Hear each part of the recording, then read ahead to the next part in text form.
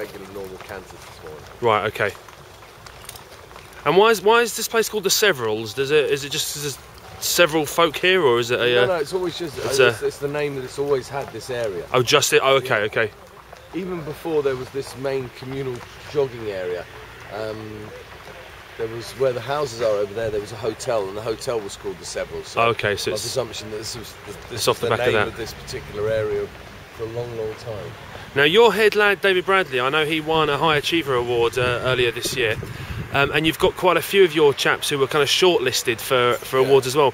Have you just got a particularly talented group of chaps here, or is it? The, are you are you the, the good sort of mentor, and you've? Uh, No, very, very lucky to have a really good team of staff, uh, you know, who are top quality and lots of experience, and they've dedicated their life to this business. And yeah, I'm the lucky one that I've got those type of people who work for me. that's it. I guess it could be argued a lot of race goers think horses sort of just magic themselves to the track, do the race, and magic themselves home again. And there's hopefully today will show that there is a heck of a lot that.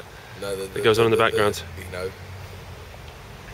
it's it's it's all part of it. Having those good staff to work with them every day and and help those horses have the opportunity to develop into the best that they're capable that they're capable of. We sadly, we're not going to make a, an ordinary horse become a superstar, but we just hope that we can make every horse achieve um, the ultimate of his own ability. Got you, got you.